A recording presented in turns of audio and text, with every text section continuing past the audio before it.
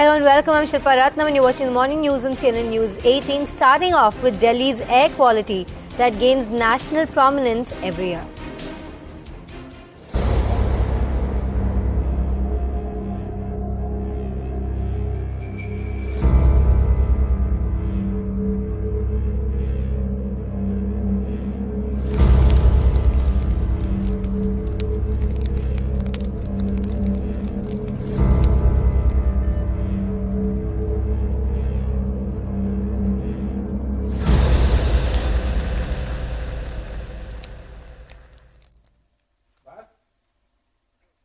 As Diwali approaches, Delhi's air quality has started to deteriorate yet again.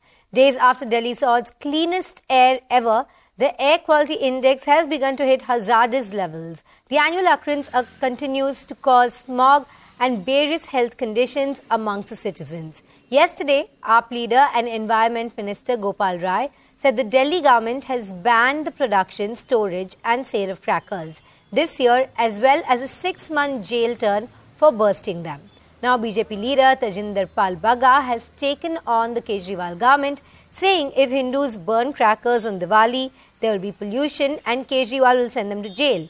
But if firecrackers are burnt in the joy of becoming a minister of Kejriwal, oxygen will come out of it. This is with reference to AAP leaders bursting firecrackers in celebration.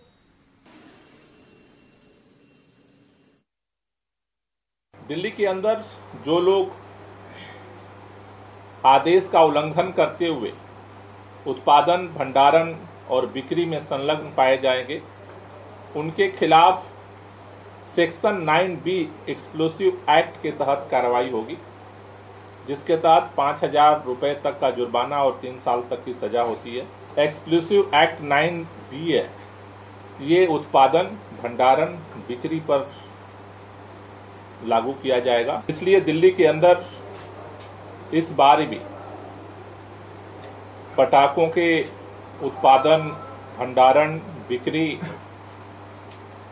और जलाने पर प्रतिबंध लगाया गया है।